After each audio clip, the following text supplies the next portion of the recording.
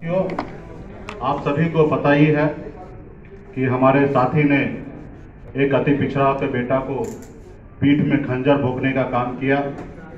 ऐसे समय पर जिस समय में हमारे पास कोई विकल्प नहीं था, ऐसे समय में एनडीए ने हमें गले लगाया, जख्मों पे मलहम लगाया और 11 सीट और एक एमएलसी देने का निर्णय लिया। इसके लिए मैं तहे दिल से धन्यवाद देता हूँ। हमारे देश के माननीय प्रधानमंत्री श्री नरेंद्र मोदी जी को, गृह मंत्री श्री अमित शाह जी को, भारतीय जनता पार्टी के राष्ट्रीय अध्यक्ष श्री जेपी नड्डा साहब को और माननीय नीतीश कुमार जी को कि उन्होंने हमें सहारा दिया है और हम लोगों ने पूरे बिहार में अपने पार्टी की ओर से चुनाव लड़ने के लिए मैदान में उतरे हैं।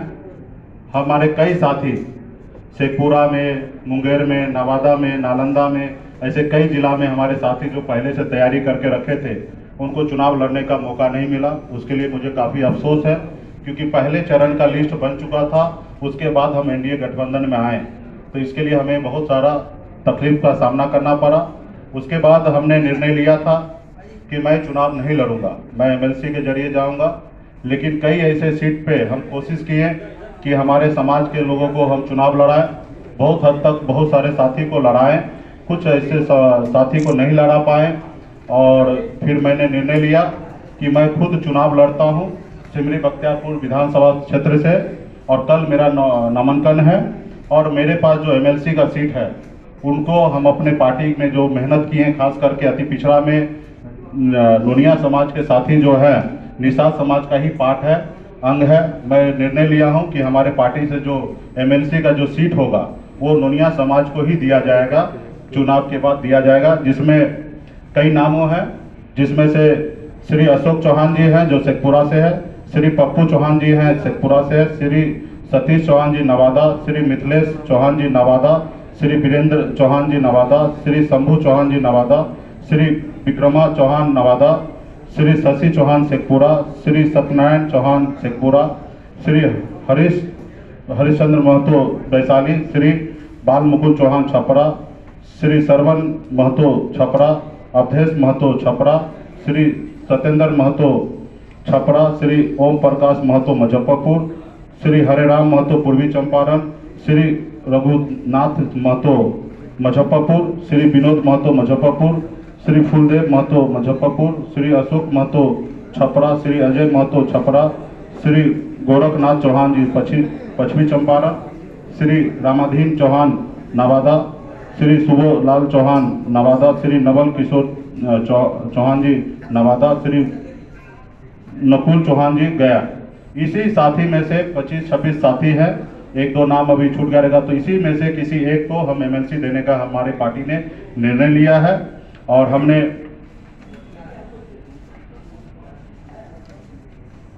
सभी समाज को लोगों को ध्यान में रखते हुए हमने बक्सर में ब्रह्मपुर विधानसभा क्षेत्र से श्री जय जय नारायण चौधरी जयराज चौधरी जी को अति पिछड़ा समाज से उनको हमने टिकट देने का काम किया है। मधुबनी जिला से सुमन कुमार महासेठ अति पिछड़ा समाज से है, उनको हमने टिकट देने का काम किया। अलीनगर से श्री मिश्री लाल यादव जी पिछड़ा समाज से उनको हमने टिकट देने का काम किया है। मुजफ्फरपुर में साहेबगंज से श्री राजू कुमार सिंह जी को हमने टिकट देने का काम किया है। सारण में बनियापुर से श्री वीरेंद्र कुमार ओझा जी को सामान्य वर्ग से उनको टिकट देने का काम किया है। गोरा बराम से श्रीमती सवर्णा सिंह जी को हमने टिकट देने का काम किया है। सुगौली से श्री रामचंद्र सहनी जी को टिकट दिया है। सिमरी बख्तियारपुर से मैं स्वतः मुकेश सहनी चुनाव लड़ रहा हूँ।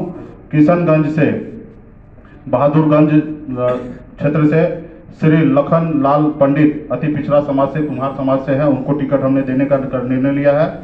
कटिहार से, बलरामपुर से श्री वरुण झा जी को हमने टिकट देने का काम किया, सामान्य वर्ग से है। और मुजफ्फरपुर में बोछा से श्री मुसाफिर पासवान जी को हमने निर्णय लिया है कि उनको टिकट देने का।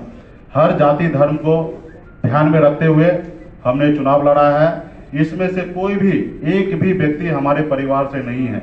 ये परिवार की पार्टी नहीं है। ये बिहार की जनता का पार्टी है। हमेशा हम ध्यान रखेंगे कि बिहार के हर जाति धर्म को कैसे बिहार में आगे बढ़ाया जाए। बिहार के 12 करोड़ जनता को आगे बढ़ाने का काम करेंगे और खास करके बिहार में अति पिछड़ा समुदाय से, मजबूती से जुड़कर हमारे पार्टी के साथ आगे बढ़ने का काम कर रहे हैं। उनको हम लोगों ने अच्छे से अच्छा जगह देने का काम किया। आने वाले समय में भी उन पर ध्यान रखा जाएगा क्योंकि ये समाज को जल्दी कोई पूछ नहीं रहा बिहार में। तो हम चाहेंगे कि हम लोग हमेशा ध्यान देने का काम करेंगे।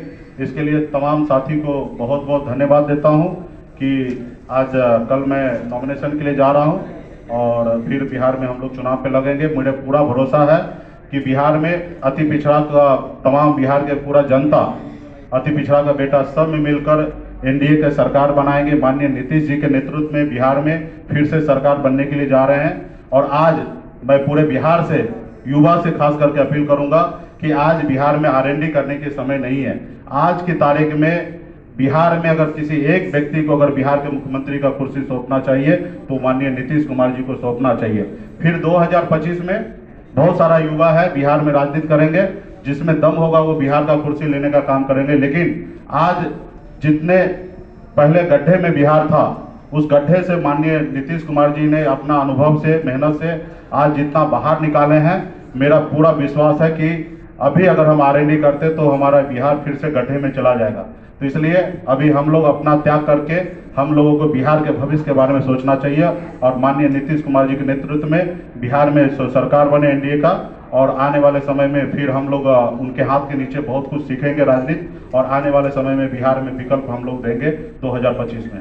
सानी जी एक सवाल ये है ग्यारह उम्मीदवारों की लिस्ट आपने जारी की है जी हाँ। जो आपका राजनीति सफ़र है उसमें आप हमेशा दलित और अकलियत मुसलमानों की बात करते आए हैं। जी हाँ। आपको कैंडिडेट नहीं मिला या बीजेपी की राह पर है? एक भी माइनॉरिटी से इसमें उम्मीदवार नहीं है।